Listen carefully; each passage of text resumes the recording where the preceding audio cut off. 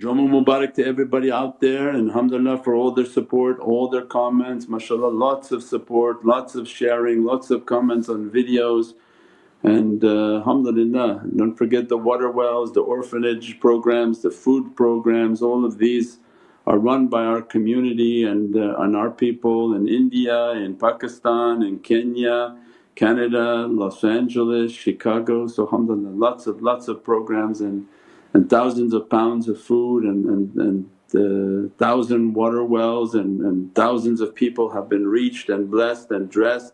So alhamdulillah mashaAllah Allah give us more and more himmah and our people to have more and more himmah. Those whom are actually doing the, the work out on the road and those whom are supporting and paying for those things to happen. So alhamdulillah this small group of people can make a big, big difference in this world inshaAllah, at least for ourselves, our family and our community. That all these actions will be written for our families as a safety through these days of difficulty and hardship, a day in which people won't find anything to eat. As-salamu alaykum Sayyidi. Wa alaykum salam rahmatullah. Uh, Mawlana Shaykh relates to us that the reality of the whale that swallowed Jonah is the reality of our Master Shah Naqshband's soul. What is the celestial reality of that whale? A black hole? A galaxy?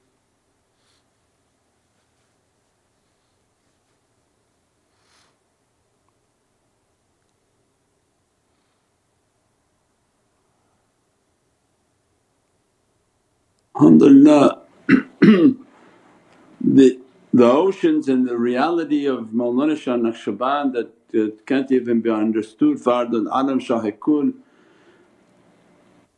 The before Allah created any awliya, the soul of Mawlana Shah Naqshband was created 7,000 years before the existence of any awliyaullah that what Allah put in the re- reality we said that the tariqas, the soul of all tariqas is Naqshbandiyat al-Aliyah.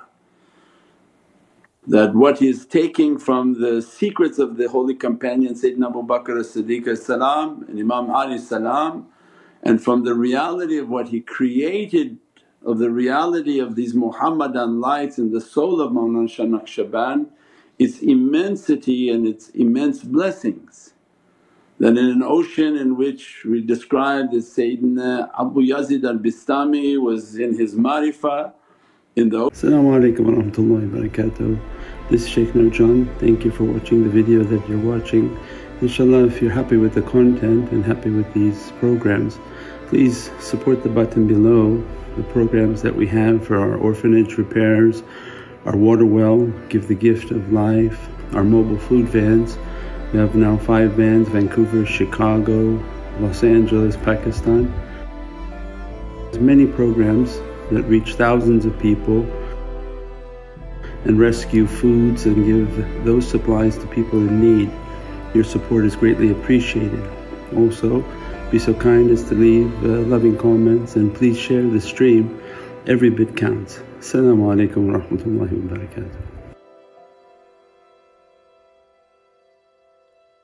Ocean of souls reaching towards its reality that reached to a point of the zikr of Hu in which the overwhelming reality of Hu was being emanated and the sound of Hu was emanating.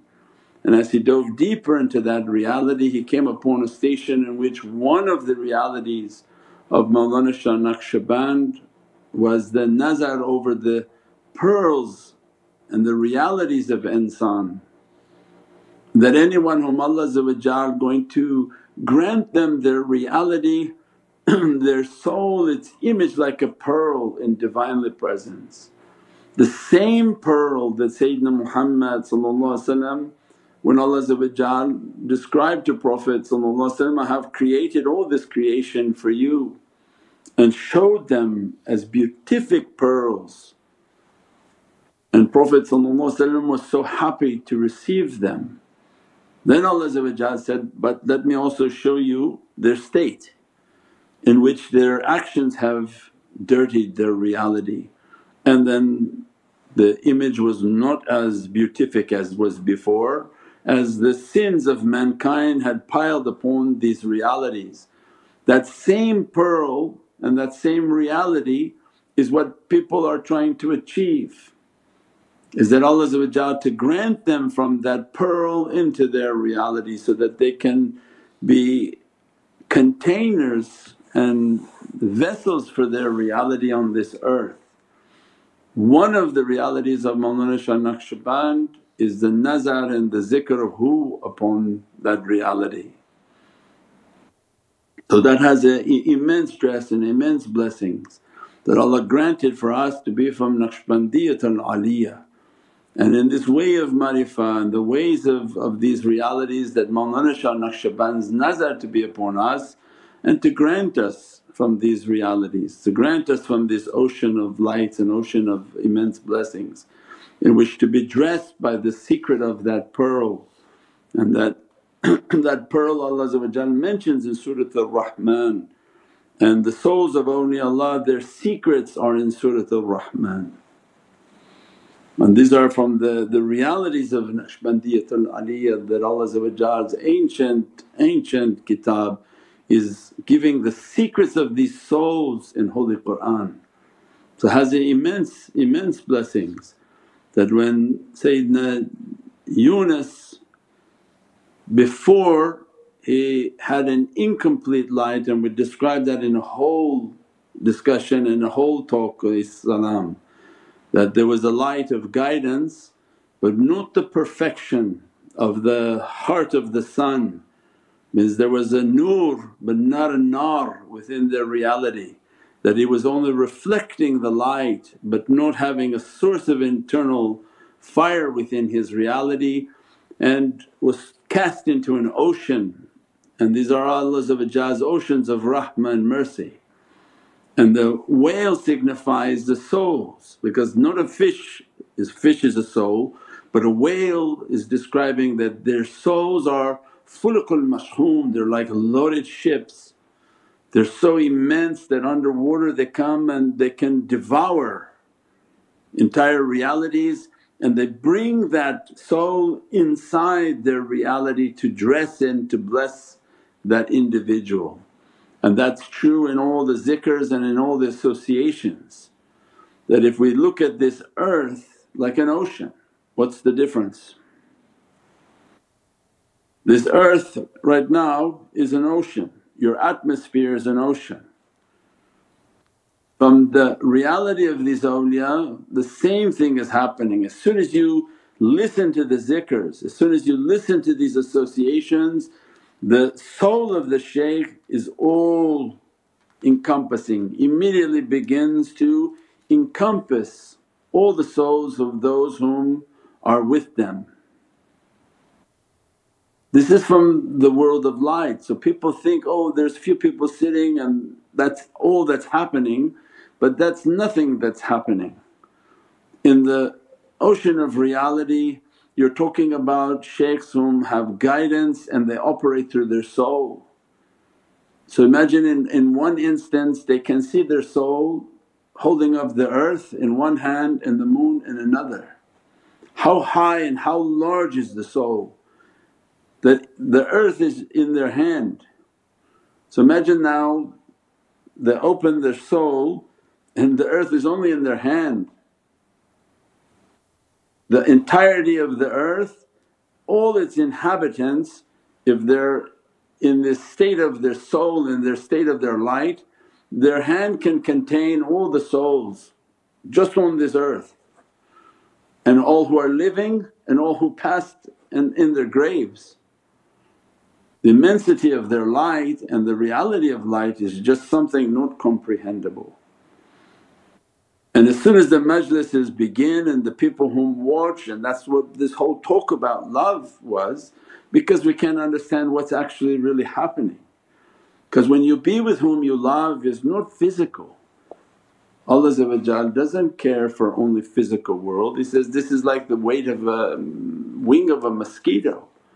Allah's concern is for that which is eternal. Allah's concern is for the holy soul that which is an eternal creation and if Allah's concern is that then the concern for Prophet must be similar. You be with whom you love is not a physical state. Physical would be great if everybody could find their guide and physically accompany them but there's no space that can happen and as a result of internet it's even teaching us you don't need that. But your accompanying is through your soul. When you love them your soul is bonding with them and wherever they are and whatever their ibadah and whatever their dress is being dressed upon them, all those whom love them their soul is a ship. Fulqul mashkoon. The Allah said, we created these loaded ships. Why? That they traverse and anyone who loves them they deposit that soul upon this, the soul of that shaykh and it's so easy. So people say, oh how is it possible? Say, look at light. If we have a whole bunch of lights and somebody turns on a much stronger light, what happens with light? It diffuses and grafts into the greater light. So block out the room, put three candles and each are like little three lights going and then turn one spotlight on, you don't see the candles anymore. What happened? The spotlight grabbed the other lights so it's the superior source of illumination. The candles are not blown out, they're still there. So the candles are burning but you don't see that light. Why? Because it's engulfed in the greater light. The greater luminescence, the light that has a greater strength overwhelms and overtakes all the lesser lights and grasps it within its reality and then keeps it within its reality. And that's what one of the meanings of you'll be with whom you love, love then the right people. Give your soul to the right people, your heart and your esh to the right people. Means to La ilaha illallah wa Muhammadun Rasulullah We described in earlier surahs in the earlier journey of the month Allah said, keep the company of those whom do the dhikr. Keep the company of your guides and those whom are ashiqeen and they're Muhammadiyun. And as a result that love that you develop within your heart and emanates through the pores of your light and your soul, its natural bond is your soul will connect back. You don't have to send it with your mind, all you have to do with your mind is open your mind to have a love and good manners, good character. And as a result your soul moves and levitates towards them. And as a result they are like ships, they grab everyone and their ship is going back into whom? They love because their shaykhs are always holding them in their ship. And that ship is in another shaykh's ship, that ship in another shaykh's ship until you're in the ship of the heart of Sayyidina Muhammad in which he is insan kamil in which everything is within that one ship. And La ilaha illallah is the power and qudra of that reality of Muhammadun Rasulullah So has the immensity, the light and love has an immense reality and we should never think of it physical. This is not physical, this is not I got to run to you and, and sit there in Vancouver and be here and be there. This is about the love through your heart, through your actions and your deeds. And it's not about emailing and saying, I love you because that doesn't mean anything. Allah said, we seal your lips on the day that you rise into our presence. This is about a love that is through the action of insan that they do their dhikr, they do their awrad, they do their support, they go out and try to feed, to do their charity, to study and they develop that love through their actions they're doing. That speaks louder than words. The actions speak louder than words because anybody can say, your children say, I love you but they don't love you as soon as you don't give them the allowance they actually then say bad words back to you. So love and, and by tongue is, is not uh, of importance. This love is by people's actions. So that's why we keep telling you, we see it, we see your comments, we see the people. We, we go through every single email to see what's what possibly people are doing, what they're commenting, who's posting, who's sharing, that's love. Not the people come saying, no, I love you, I love you, I love you. This not that's not this is what this is about. This has to do with people who want to show their love through their actions, their studying, their learning, going out and feeding. This is the greatest example. Prophet must be so happy, look, look your students are giving food. They, they understood they're going and trying to help, they give drink, they give water, they do all of these charitable acts, they post these articles.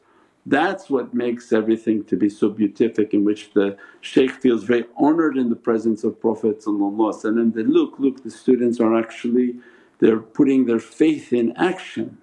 Their faith is actually manifesting and now is affecting people and blessing people and alhamdulillah. So this is, this is the immensity of that way. But all of this is then always to think in the world of light that as soon as I do these good deeds and good actions my soul is bonding with them and with him, with him, with him all the way into the presence of Sayyidina Muhammad for his only a, a representation of that reality. Just a small minor flower in a garden of Sayyidina Muhammad in which to with a fragrance of love and good character to attract people so that they come and say, what a beautiful garden this is and they begin to smell the fragrance of that rumi, that rose garden. Means that Gulun Muhammadi, the rose is called Gulun Muhammadi and it's the king of all flowers. So this Muhammadan garden, Gulun Muhammadi garden is what is trying to attract people to come to this garden. All the gardens you think you want to see on this earth come to the Muhammadan garden in which its fragrance is guaranteed to intoxicate you and make you to be lost in the ishq and the love of Allah's Divinely Presence inshaAllah.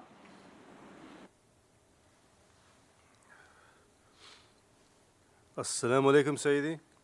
wa alaykum salam rahmatullah. Sayyidi, what is the reality of severe anxiety and increased risk of panic attacks at night? They often come with cold chills. Does this have anything to do with jinn attack? Yeah, I think we had one of these things last week too. So the anxieties and these things, yeah, these are energies and keep your taweez, keep your meditation, keep your practices. Anytime people are sensitive to energy then they're going to feel the fear and panic and all these different types of uh, feelings because you're talking about the energy world. So if the person is, is strong in their practices they should feel less and less disturbance in their field of energy. If they're not strong in it, new to it or don't have any experience in it then yeah any energy comes by you can feel fear, you can feel panic, you can feel anxiety. So these are different, different uh, issues and this is again all based on you don't have any mental issues. Because if you have mental issues that then is something that has to be resolved through medicine. Because if there's something wrong in your receptors and the wiring is not correct then with medication that has to be treated. So people can say, oh Shaykh I'm, uh, I'm not feeling well, I'm, I'm a little bit sick, is this because of jinn? No, yeah maybe because of jinn but at the same time you need your medicines.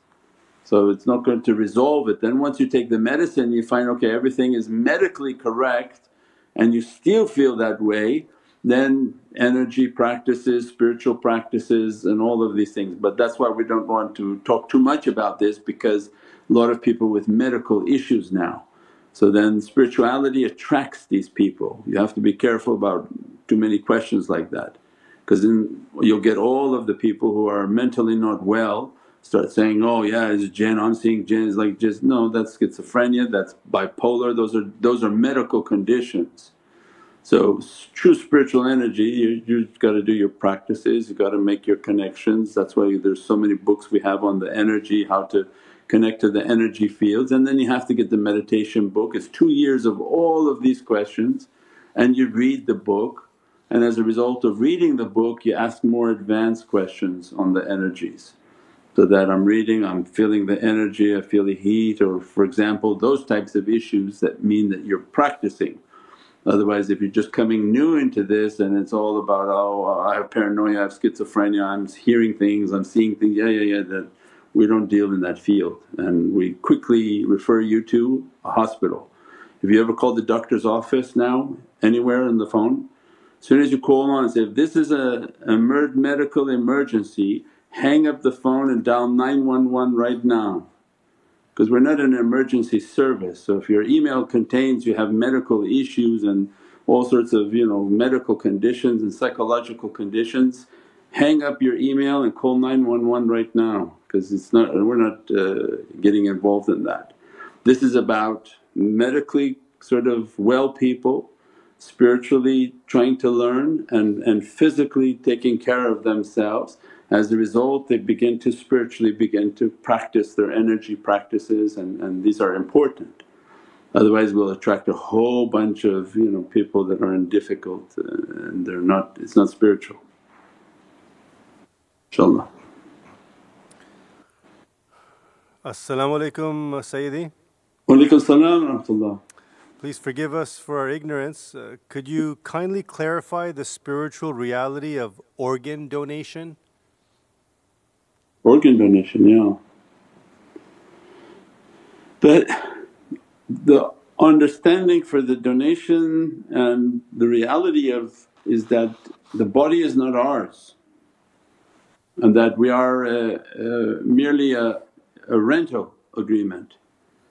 That Allah is the owner and the custodian of what He has given to us, merely loaned to us and to return it back to Allah inshaAllah in a as good and better condition which can't be done but assuming all the difficulties of wear and tear on this earth we try our best to to do our spiritual practices to, to compensate for, for the wrong that we've done upon ourselves. So it's the concept of trying to build and to, to do goodness to what Allah has given to us. So to, to take a rent a car and paint it your own colour, change the seats, take out everything, put new things in, then Allah is going to hold us to account that, why did you modify what I gave to you? and, and hence then the rules on tattooing and, and uh, marking and changing of the, the body, the, the, the, the things that people want to do upon their body. Then you come into the organs which are not yours to give away. So then those have to be viewed in the same, same light that this is, this is a, a trust that Allah has given to me. And I don't know the consequences of, of taking uh, and giving my organs away. Uh, what will I feel in the grave and what will be the difficulty of that issue? And who was it given to? And was that person somebody who was going to do goodness with it? Or all your life you struggled and they give you a heart to, to motorcycle gang member because he's next in line at the hospital. So these are things that has no wisdom in, in why people would want to do that. If they're going to do that for their loved one where they want to give their kidney to a child, to a loved one then alhamdulillah that's like a sadaqah, that's something that you're giving out of your heart and support to keep a loved one alive and in good health. But for the sake of just giving something away that's not yours and it doesn't serve a religious spiritual purpose like helping family because the first people you're supposed to help are your own family when you give sadaqah and charity. So your body can be a charity if it's going to improve the life of someone whom you love a lung, a, a kidney, a, a, liver transplant, all these things that they're giving to their family and children and family members. But just for the sake of giving something that's not yours, it's uh, spiritually not advisable. And you have to specify that on your will and on your things because they want to take apart the entire body when the person's uh, barely dead. So we have to specify those types of things. And even now they said that they take out the, the women's placentas and they do many, many bizarre procedures on people and they don't know where these are going and which labs are taking these body parts and, and these, these procedures. So everything has to be clarified and, and, and sort of noted to people, don't take this out, don't throw this away and if you're going to throw it let us to see where you disposed it and, and these types of things if they can inshaAllah. As-salamu alaykum ya Sayyidi. Walaykum salam How to use salawats to improve our connection to Imam Zaman. The salawat is that every every Muhammadiyun has a salawat and we do that salawat to draw near inshaAllah to their Muhammadan identity. So Allahumma salli ala Sayyidina Muhammad sahib al-waqt, sahib zaman, sahib al-waqt, sahib al-unsur. So Allahumma salli ala Sayyidina Muhammad al-Mahdi sahib al-waqt, sahib al-unsur, unsur. And you can do that hundred times a day making this salawat upon the Muhammadan reality of Sayyidina Muhammad al-Mahdi salam. InshaAllah.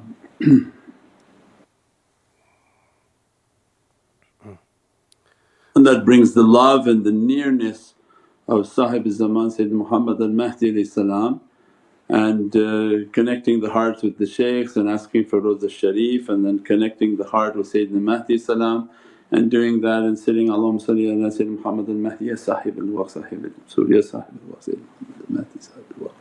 And connecting your heart and asking for his nazar and his light and his dress upon our souls inshaAllah and to, to reach towards their power.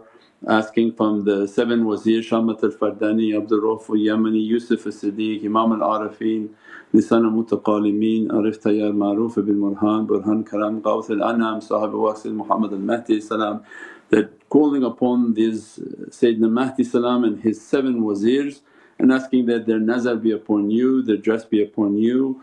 And I think we have it in the, the madad and the, the recitations of the madad and calling upon, these are for power, for for energy, for protection when we're not feeling something is right and the energy is not right. These are all uh, immense blessings and, and immense nazar upon us that they watch over us, our families and our communities inshaAllah. As-salamu alaykum wa rahmatullahi wa barakatuh Shaykh. Wa alaykum salam wa Shaykh you mentioned last week that conscious lies in the heart. How could that consciousness be awakened speedily? Did we mention that the consciousness, the, the lower conscience and higher conscience, right? So that you, you have a, a light of your soul, they, they call it consciousness. So there's a light, a minor and a major light. The minor light of the soul that resides within the heart and our life is to connect with the, the greater soul that is always in Divinely Presence. Means that Allah didn't give us something to extinguish and lose. So our life is about light the heart, that you're a, a flame, a candle in the wind is the analogy. Our life is like a candle in the wind that we have this little flame and unless you make it into a torch what's going to happen? It's going to blow out. So shaitan knows that so shaitan's whole life is to blow out the flame so that you don't have light, you're not luminous, nothing is illuminating from you and that's why they're illuminati. Ill like no they're not luminous. They're non-luminatus. Right? Because they blew the flame out.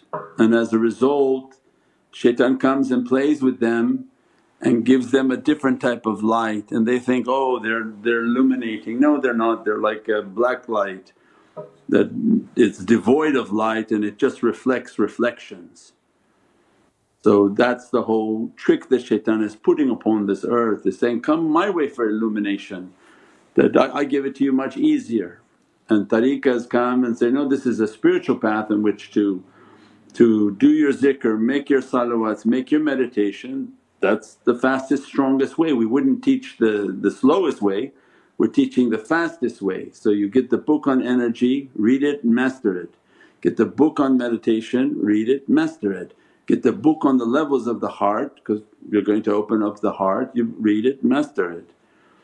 So these are all the books we gave. It's all in this curriculum. We didn't write random books based on you know moon travel and how to get to the moon and what's the reality of the moon. We read, read a book on, wrote a book on what? What was the guidance? On the sun and the moon and the rising sun of the west. Why? Because the sun would rise from the west and that had to do with isharat and guidance and the reality of the sun and following the light of Prophet so anything we've taught and the only reason they're allowing to be taught to be to teach this subject is because it is the fastest and most powerful way.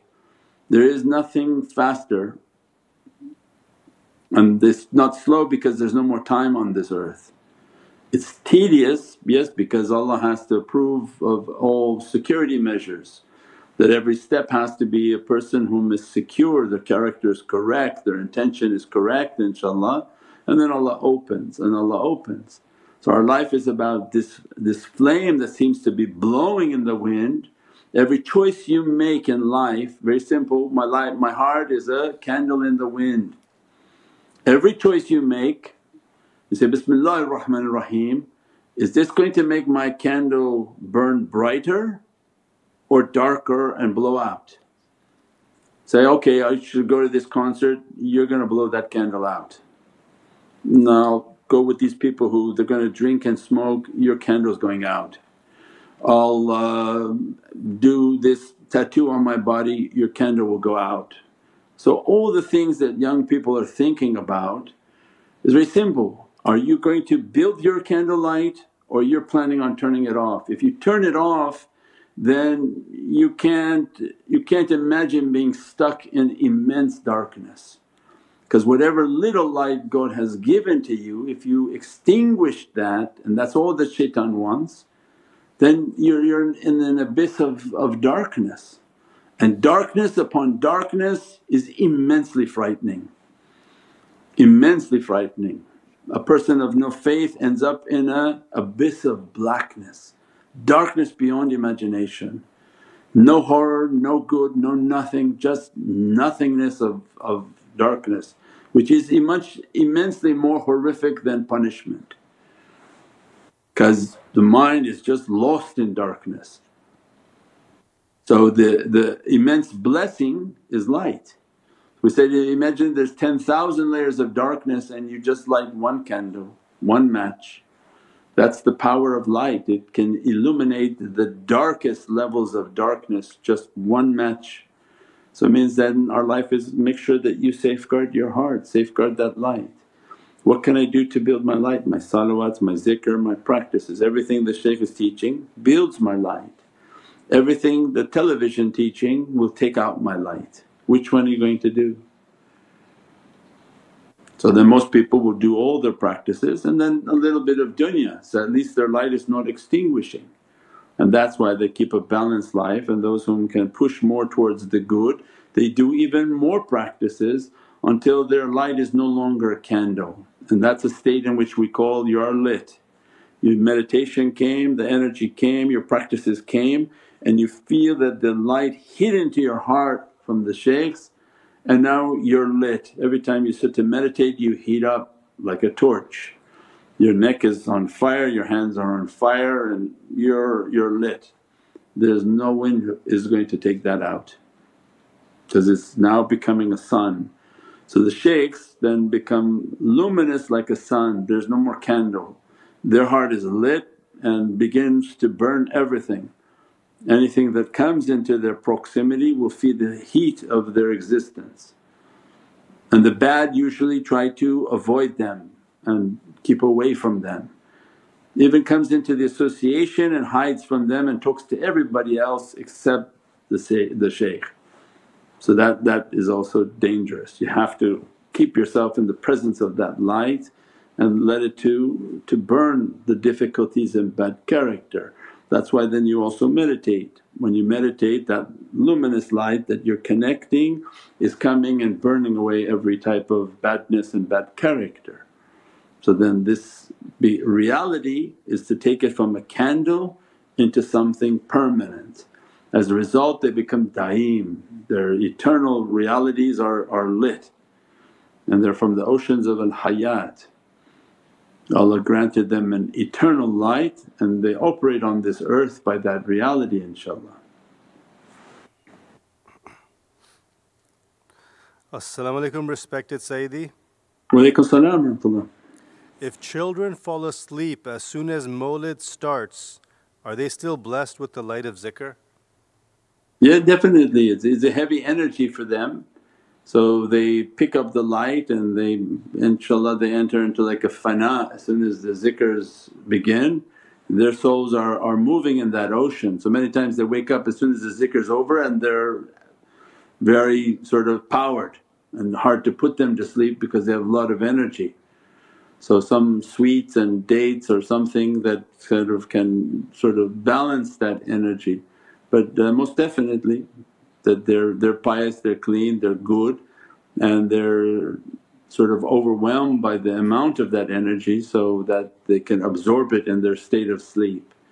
But for adults that's not good manners, it's the reverse. For adults as soon as you sleep you contaminate the zikr because that, that's a bad character. So that's why it's advised then to have coffee and tea before you enter the majlis of zikr so that you're awake and you're alert because shaitan make the person to become heedless and then put them out. So that's, that's the danger, it's a continuous battle. And if the energy is still strong and you did all of that and energy is strong then the energy knocked you out, there's nothing you can do. But just to come in a state of you know just tired and know you're tired and then sit there and coming for like a nap time then it's against the adab and tariq al-adab for the, for the zikr because you're not holding it to the esteem that it should have.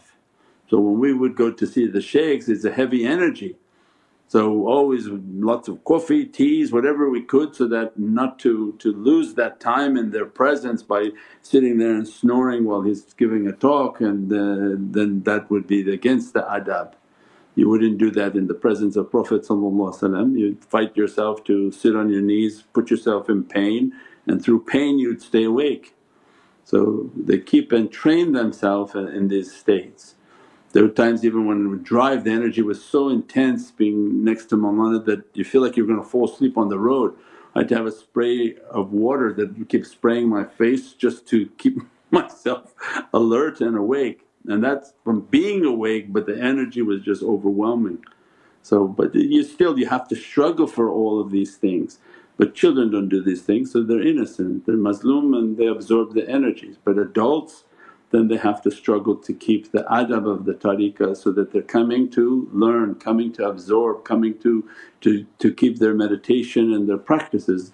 You same for people at home that you keep it right before the zikr, have your teas, have your, your things to keep yourself awake if possible and you sit with that, that type of adab to absorb the energy and to make the, the most of it and if not then inshaAllah next time will be better. سبحان ربك رب العزة عما يصفون وسلام على المرسلين والحمد لله رب العالمين إلى شرف النبي صلى الله عليه وسلم وعلى أصحابه الكرام ولمشايخنا في طريقة النشبندية العلية وسائر ساداتنا والصدقين الفاتحة alaikum wa rahmatullahi wa barakatuh. This is Shaykh Nurjan. Thank you for watching the video that you're watching. Inshallah if you're happy with the content and happy with these programs please support the button below the programs that we have for our orphanage repairs, our water well, Give the Gift of Life, our mobile food vans. We have now five vans Vancouver, Chicago, Los Angeles, Pakistan. There's many programs that reach thousands of people and rescue foods and give those supplies to people in need. Your support is greatly appreciated. Also, be so kind as to leave uh, loving comments and please share the stream. Every bit counts. Assalamu alaikum wa rahmatullahi wa barakatuh.